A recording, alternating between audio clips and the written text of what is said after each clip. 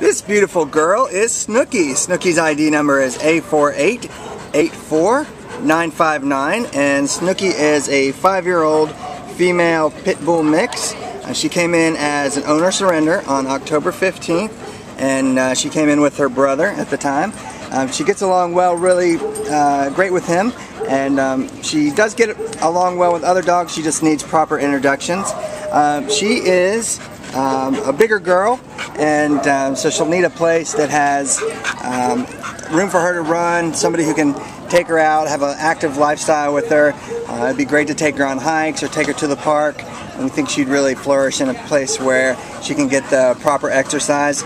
Um, she could stand to use some leash training still.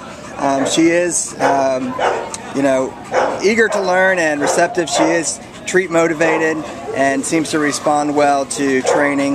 Um, you know, there's a lot that she can still learn and, and even progress further. Uh, what else can we say about Snooki? She, uh, like you said, she gets along well with other dogs. I um, introduced her to a couple of dogs, and she was, you know, she checked out, she checked them out a little bit to make sure that they were friendly. And once she figured out that they were good dogs to play with, she wanted to play with them.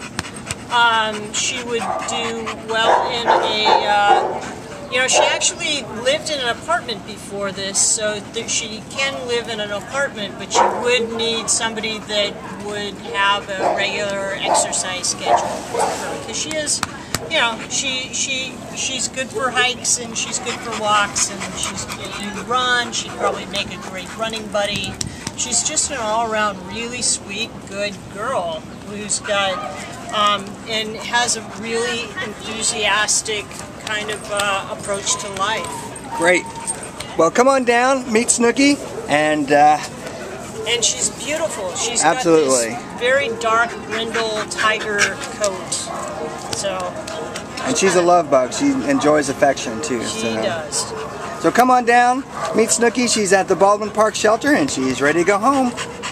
Good girl.